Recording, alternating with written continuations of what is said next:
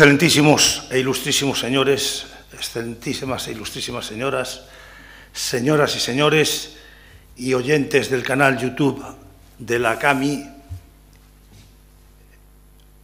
gracias a Dios estamos recuperando la actividad presencial en las conferencias que programa la CAMI y hoy iniciamos un ciclo dedicado al centenario del desembarco de Alucemas, durante el cual, año a año y hasta la paz total de 1926, iremos analizando los acaecimientos más importantes que condujeron al formidable asalto anfibio de 1925, la derrota de los rifeños y la pacificación del protectorado.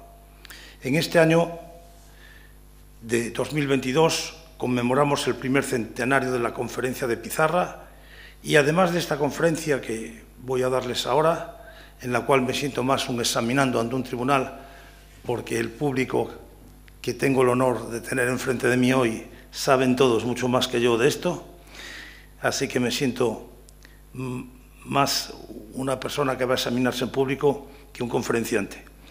Las otras tres conferencias serán el 22 de junio, Operaciones de recuperación del territorio en 1922, que pronunciará el general don Francisco Ramos Oliver, el 14 de septiembre, laureadas y medallas militares concedidas por las operaciones de 1922, del coronel de la Guardia Civil Jesús Núñez Calvo y el 23 de noviembre el cese de Millán Astray por su enfrentamiento con las juntas de defensa del general don Miguel Vallenilla y García de Gamarra. La sección de Historia Militar de la CAME pretende divulgar estos episodios entre la sociedad española. Unos fueron bien dolorosos, otros fueron victoriosos, pero casi todos heroicos y cuajados de lecciones que no deberíamos olvidar teniendo en cuenta la importancia que han tenido no solo en la historia de España, sino en la historia de Europa y en la de África. Y comienzo mi conferencia, que he titulado Del Arache a Pizarra, el largo camino hacia Lucemas. Pretendo en esta conferencia analizar el periodo que va desde 1900 a 1922 es muy difícil siempre en las conferencias fijar el eje de las X y de las Y, las ordenadas y las abscisas, dónde empiezan los hechos. Podíamos ir hasta el 60 de, de Prin y de O'Donnell, o podíamos ir al cardenal Cisneros a buscar antecedentes. Yo me he limitado al siglo XX porque si no alargaría extremadamente esta conferencia. Y todos los hechos que voy a relatar creo que están bien relacionados con el objetivo final, que es el desembarco de, Alucemas, como ustedes verán. El teatro de operaciones, en esta preciosa foto de satélite, está todo comprendido. ¿eh? Ahí ven prácticamente desde Larache y Arcila, Alcázar, Alcázar eh, Ceuta y Melilla, Cabo Tres Forcas, todo donde se jugó las operaciones que vamos a ver. Perdón un momento, que están arreglando un problema informático. Muchas gracias. Eh, en 1902, Francia, que desde que había tenido el casus belli por España con motivo de la elección como rey de, de Amadeo de Saboya, Francia tuvo casus belli con Alemania, porque los alemanes pretendían un príncipe prusiano, los franceses querían uno de la esfera francesa y al terminar terminó en lo terrible del Sedán y esto no se acordaron mucho de nosotros ni cuando tuvimos los problemas de Cuba y Filipinas ni en otras ocasiones. Pero en 1902 Francia nos ofreció, nunca mejor dicho, el oro y el moro. Repartir Marruecos en dos zonas, España tendría una zona al norte, entre el río Sebú y el Mulaya, comprendida la rica ciudad de Fez y su campiña, y otra sur en torno a Santa Cruz de Mar Pequeña. No se aceptó, por un temor del gobierno español, una prevención hacia la postura del Reino Unido y el statu quo de Gibraltar. Al año siguiente, dado que esa pretendida oposición británica no existía, se firmó un tratado franco-español que redujo la zona española a la norte, sin Tánger ni Fez, pues Francia ya estaba preparando la entente cordiale con los británicos y no tenía ningún problema en esas concesiones. El RIF se declaró zona de influencia española y en 1904 el Reino Unido y Francia firmaron una convención declarando que si el sultán no podía mantener el orden, España y Francia establecerían un protectorado en Marruecos. este gráfico que he tomado de la red, como tantas otras cosas, verán la zona del protectorado con la bandera española, pero lo que nos ofrecían al principio es la línea que pasa por Fez ¿eh? y el río Muluya que sube y que desembarca en Cabo de Agua. O sea que era una zona mucho más amplia y mucho más rica. Y al final nos fuimos a quedar con la zona más dura y más belicosa. En ese momento el mundo se debatía entre muchas cosas. Estados Unidos, después de lo del 98, se había convertido en una potencia. Inglaterra controlaba los mares, ¿eh?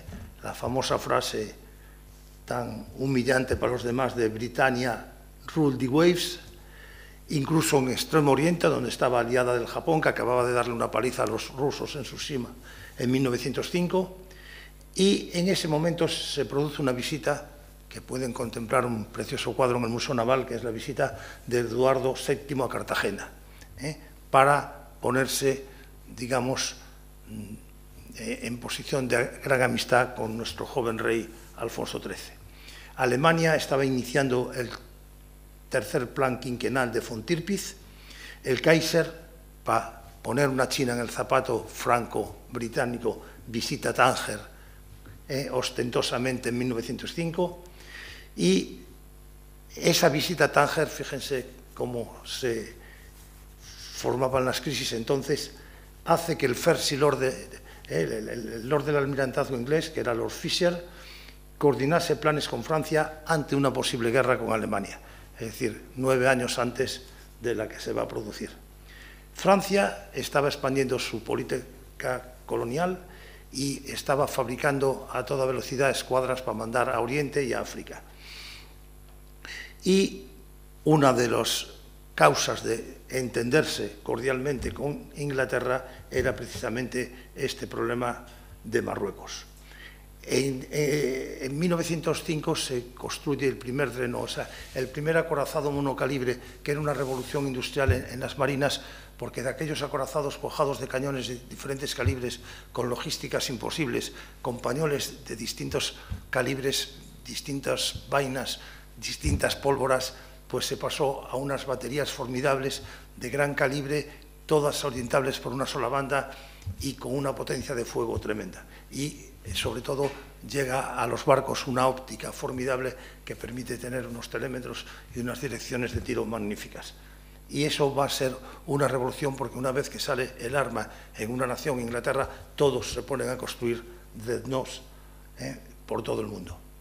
Nosotros aún estábamos en los tiempos del viejo Pelayo construido en Tolón ¿eh?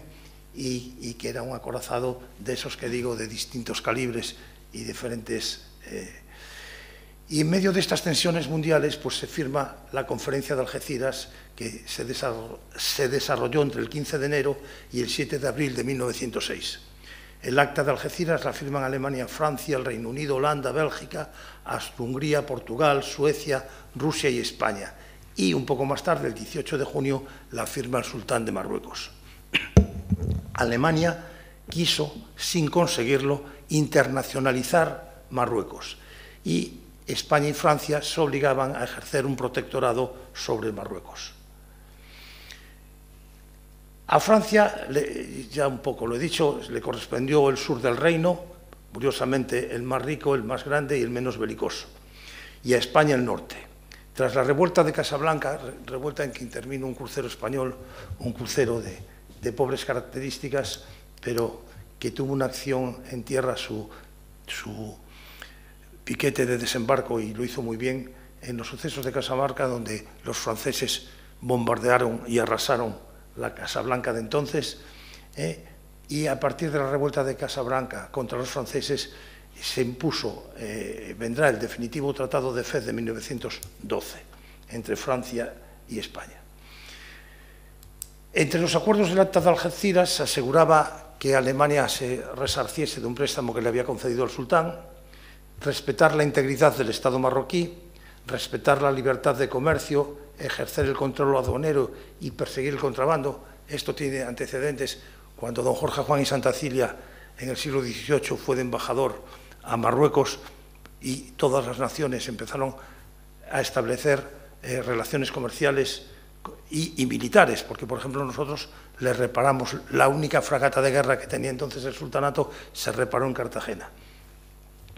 Luego se ordenó, que lo hizo España, eh, llevar a cabo el faro de Cabo Tres Forcas, que era una necesidad de la navegación en el estrecho tremenda, allí es donde se perdió precisamente la coraza de España en una niebla cerrada, y Francia lo que hizo fue hacer caso a los estrategas, sobre todo al almirante Castex, que es el, el francés, eh, que dijo, ¿para qué sirve España?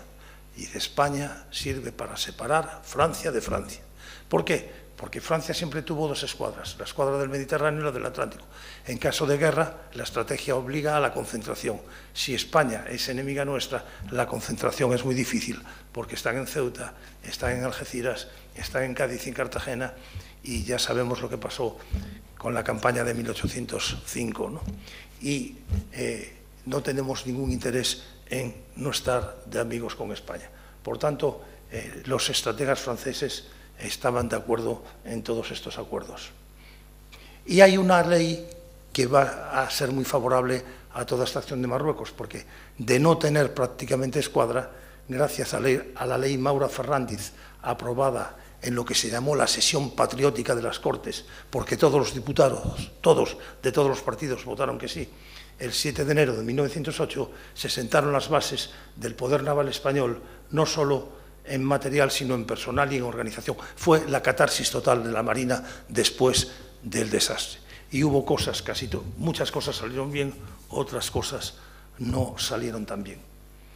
Eh, ¿Qué hizo esta ley Maura Fernández? Conseguir los tres acorazados, los tres dreadnoughts más chicos del mundo.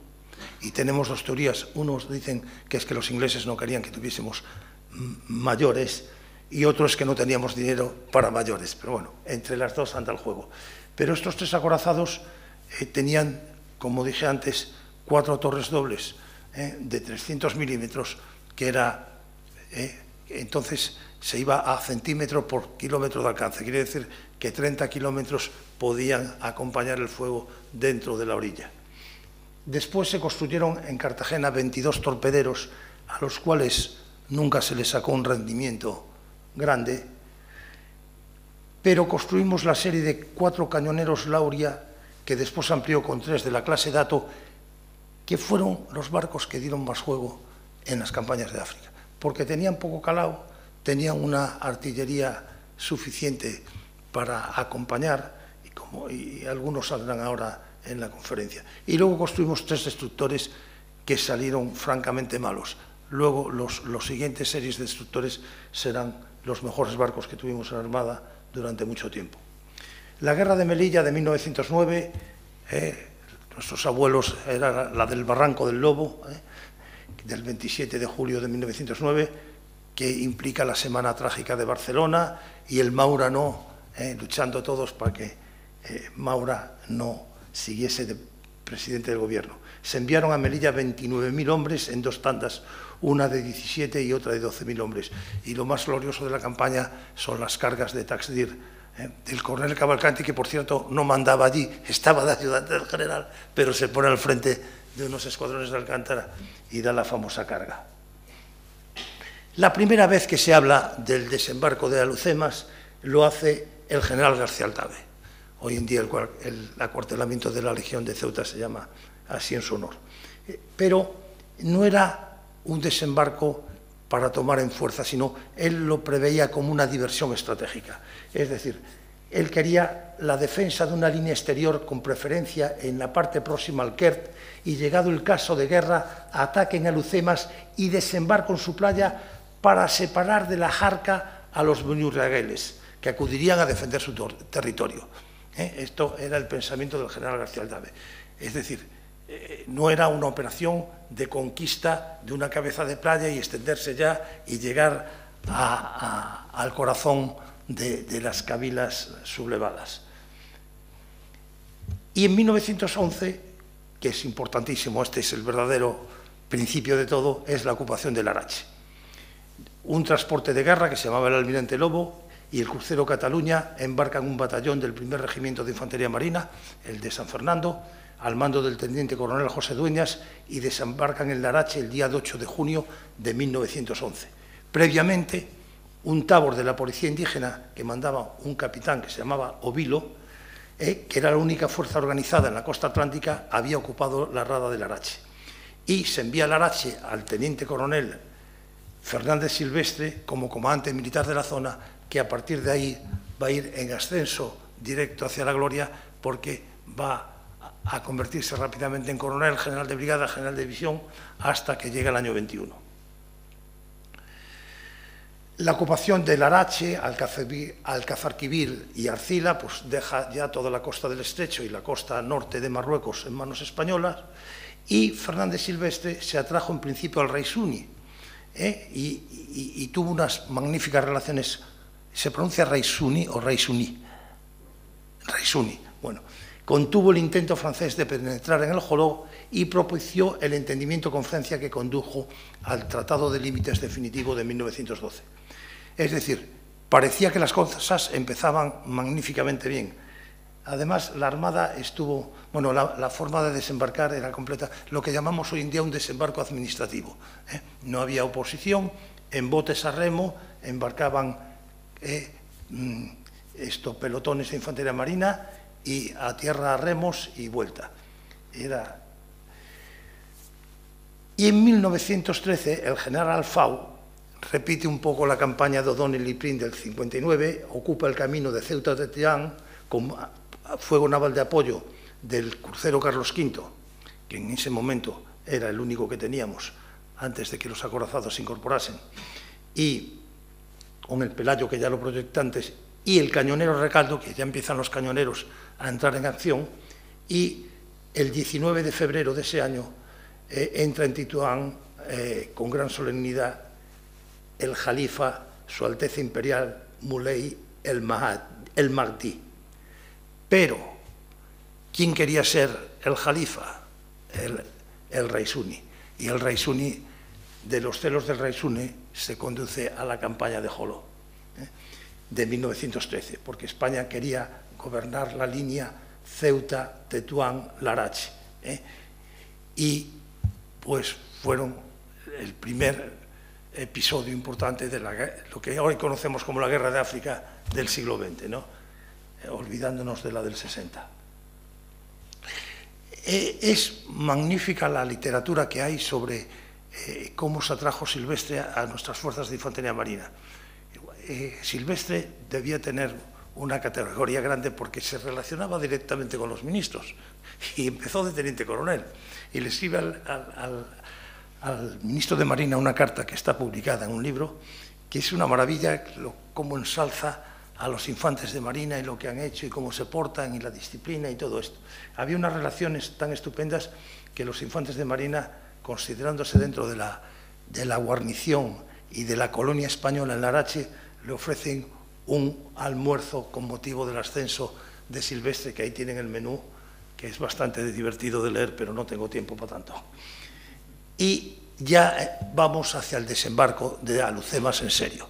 Ya hay alguien, una persona que se va a morir en el intento porque tenía el corazón machacado, no por otra cosa, pero que era el general don Francisco Gómez Jordana, que yo, como a don Álvaro de Bazán, le llamo el viejo, para distinguirlo del mozo, que era su hijo, que fue el que fue ministro eh, de Asuntos Exteriores español.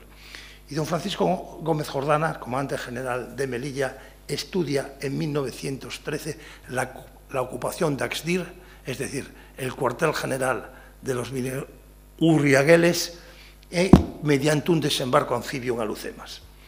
Pero antes se atrajo a cabilas, digamos, proquibles a España, entre ellas a Abdelkrim el Hatabi, padre e hijo, eh, a Chindi, a Sibucar y a Ibudra. Es decir, que hizo una preparación política para que fuese más fácil la penetración eh, después del desembarco. Pero cosas de la política de entonces que ahora no nos pasan esas cosas. Pero entonces sí que pasaba que si los conservadores aprobaban una cosa, los liberales hacían la contraria. Si luego la rivalidad entre los, entre los altos comisarios y los ministros eh, hace que el ministro de la Guerra, don Agustín eh, Luque y Coca, reciba un informe completamente negativo a los planes del general que se los manda el, general Alfau desde Melilla hay un cruce de telegramas con Madrid y Alfao es destituido en agosto de 1930, de 13. Después Jordana vuelve al ataque, pretende ese desembarco de Lucemas hasta que fallece el año 18 de un fuerte ataque al corazón y los planes quedan de momento en suspenso.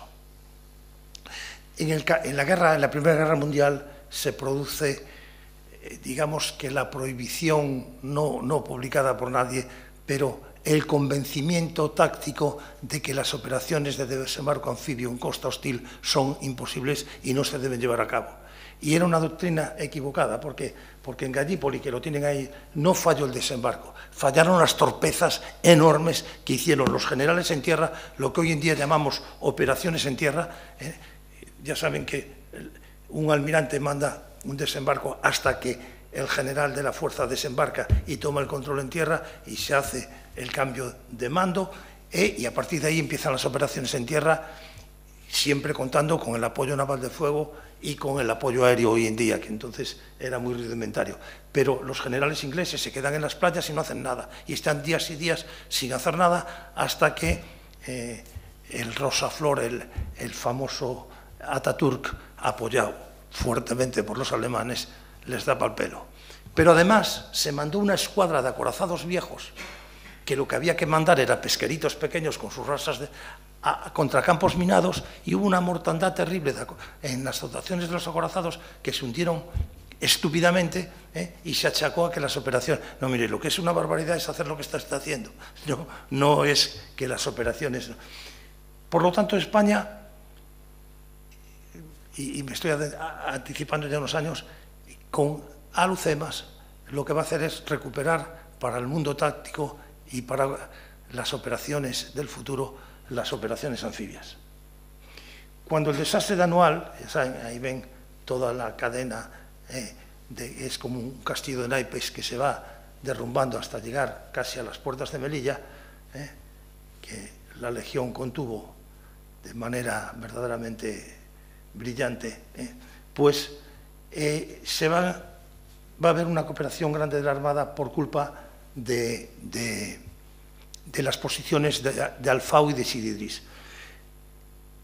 El general Berenguer, que era el alto comisario de la misma promoción de caballería, nacido en Cuba, igual que el general Silvestre, y como dice el general Silvestre en una carta muy divertida, dice, Damasito es mi íntimo amigo.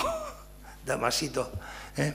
Es curiosamente porque don Damaso Berenguer tenía un hijo capitán de navío de la promoción de un mío que también se llamaba Damasito. Bueno, pues eh, eh, don Damaso le escribe a Silvestre diciendo, no se puede hacer más y mejor que lo que has hecho. Puedes estar satisfecho. Solicito informes sobre posible desembarco en Alucemas. El coronel jefe de Estado Mayor, que se llamaba Morales, eh,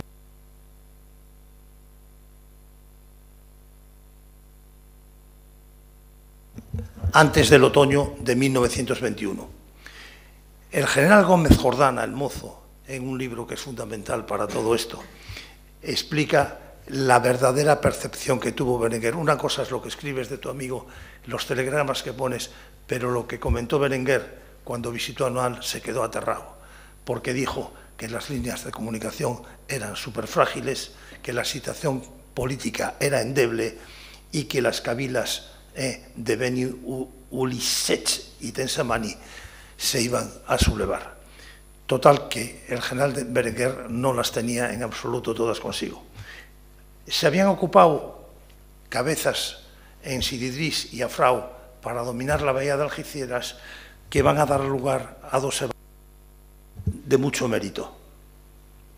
Eh, ahí tienen Sididris y Afrau, unos sitios inhóspitos, sin agua, eh, que tienen que ser sostenidos todo el tiempo desde la mar, eh, y que se ocupan para intentar frenar el contrabando de armas en la bahía de Lucemas. Hay, curiosamente, cuando se produce el derrumbamiento eh, que da lugar a, a, toda la retirada hacia Melilla, hay tropas que se vienen hacia Sididris y a Frau. Y entonces se manda a dos barcos, al Princesa de Asturias y a un cañonero, para evacuarlos. Y desembarca la sección de un cañonero mandada por un alfred de navío, que es uno de los casos más curiosos que tiene la Armada, porque su carrera en la Marina llegó hasta teniente de navío. Pero como le dieron las dos, dos medallas militares, como en la guerra civil vuelve al servicio en la Armada y le dan otra medalla militar, pues al final se retiró de almirante. ¿Eh? Pero bueno, es un caso curiosísimo de don Pedro Pérez de Guzmán. Ahí está con un telégrafo que desembarcaron los barcos para comunicarse con Sididris y es el momento de la carga de, del regimiento de Alcántara que todos conocen, en la famosa fase del teniente coronel Primo de Rivera, soldados, ha llegado la hora del sacrificio, que cada cual cumpla con su deber. Si no lo hacéis, vuestras madres, vuestras novias, todas las mujeres españolas dirán que somos unos cobardes. Vamos a demostrar que no lo somos. Les recuerdo que la última carga se hizo al paso porque los caballos ya estaban completamente agotados. Y en esas evacuaciones, el Laya va a conseguir sacar 30 hombres de Sididris y 34 de Alfau.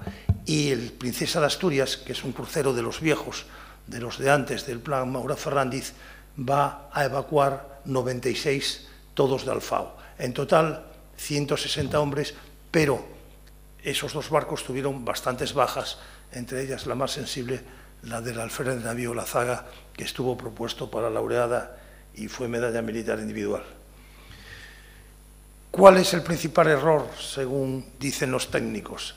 En confiar en palabras compradas y no desarmar a las bandas, es decir, adentrarse en un territorio sin tener la seguridad de que lo que dejas por tu popa está desarmado.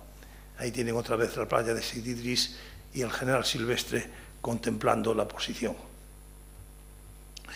Y por fin llegamos a lo que iba a ser el objetivo principal de esta conferencia, que es la conferencia de Pizarra.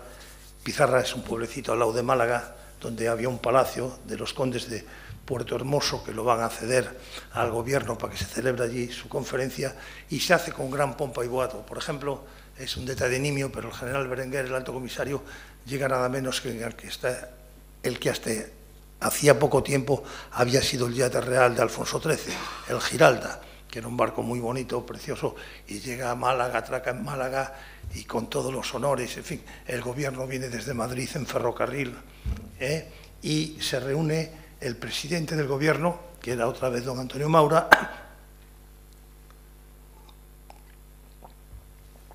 varios ministros del gobierno, el alto comisario Berenguer, los jefes de Estado Mayor del Ejército, que era el general Aizpuru, y el de la Armada, que era el almirante Buigas, el comandante general de las Fuerzas Navales de África, que es el famoso almirante Aznar, el de aquel que se acostó monárquico y se levantó republicano, y otros jefes militares.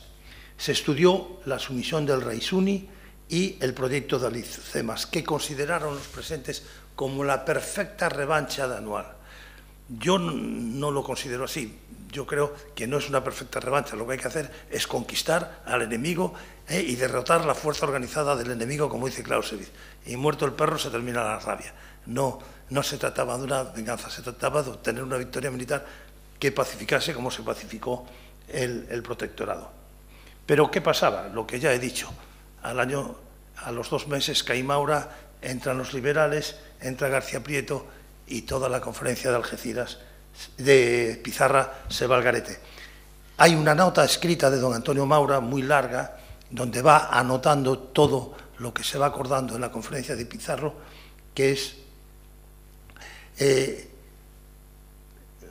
crear una oposición total a las pretensiones del rey Suni, ejecutarla cuando se pueda, cuando eh, eh, sobre todo la meteorología lo permita, que el objetivo principal son los Beni Urriagueles, que no seguir guerreando en el terreno que las cabilas han eh, escogido, sino ocupar la bahía de Lucemas y dar la batalla desde allí.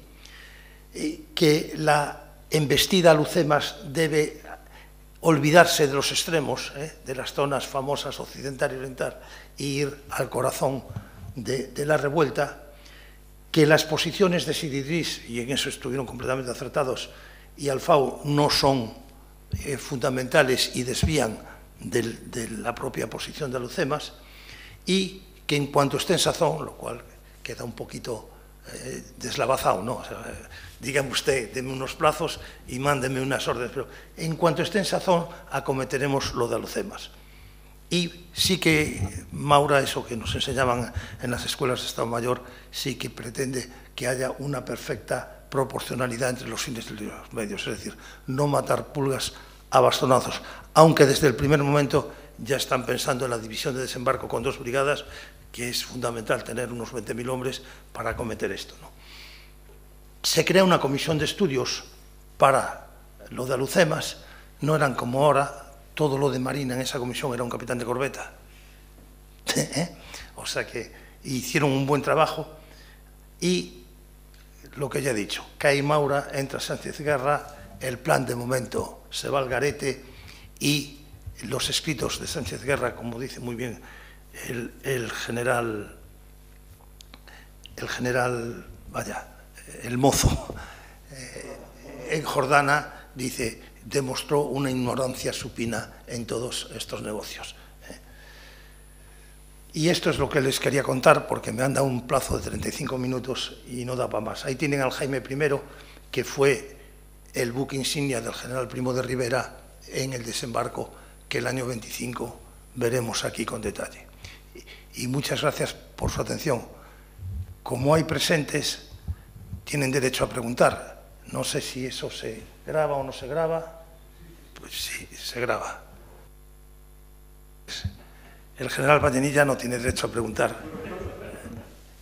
Lo tiene prohibido por el mando. Porque han dicho en el CSDN que perfil bajo.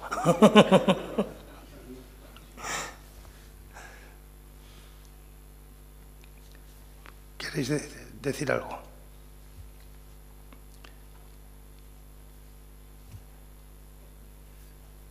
Yo, yo creo verdaderamente que la, política fue bien nefasta, porque desde el año 13 son 13, 7, 12 años que todo el ejército sabía lo que había que hacer. Y ahora caiga este gobierno y ahora viene el otro gobierno y, ahora, y tuvo que venir la dictadura de Primo de Rivera a dar un golpe sobre la mesa, apoyado por ciertos legionarios también, claro porque está la famosa visita a, a, a, ¿eh? que había gente que había sido arrestada dos veces y había cesado el destino dos veces por ser abandonistas. Uno se llamaba Don Miguel. ¿eh? Y entonces en esa comida de Mentiez parece que cambió algo de criterio. Pero bueno, si no quieren hacer ninguna pregunta, pues muchas gracias por su atención y les emplazo a que el 22 de junio vengan a escuchar a don Francisco Ramos Oliver, que de esto sabe seis veces lo que sé yo. Muchísimas gracias.